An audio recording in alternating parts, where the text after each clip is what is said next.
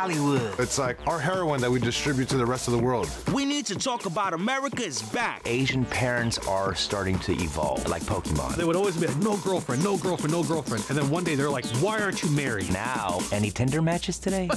New topics, fresh perspectives. We're talking about Entertainment. Showbiz. Social media. From our crew of first generation comedians. I love Lucy. That's my That's shit. how we learn English. It Took an immigrant and a woman to make entertainment what it is.